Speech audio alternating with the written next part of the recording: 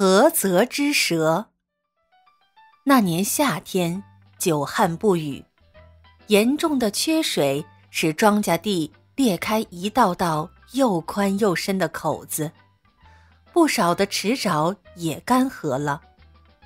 原来栖息在水沼中的一些虫、鱼、蟹、蛙，能够搬迁的都搬走了，最后还剩下两条花蛇。他们眼看着池沼边的杂草全部枯槁，也准备另找一处安身之地。临行前，那小蛇对大蛇说：“你身强力壮，走得快。如果你在前面走，我在后面跟，这样目标太大，人们一看到蛇在行动，肯定会来捕杀。你走在我的前面，必然先遭祸殃。”因此，我们应该换一种方式。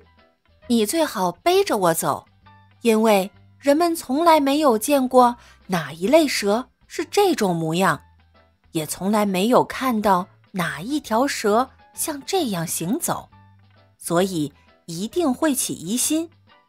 如果他们把我当成一位神君，对我们敬而远之，我们不是可以蒙混过关，安全抵达目的地了吗？大蛇觉得小蛇的话有道理，于是背起小蛇穿过大路，扬长而去。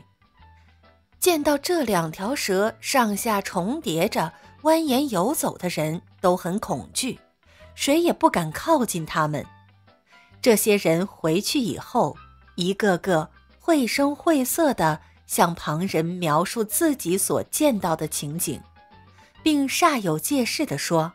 刚才我看见蛇神了。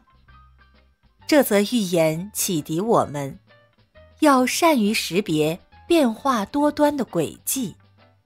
我们看问题，不能只看表面现象，而要透过现象去分析和把握事物的本质。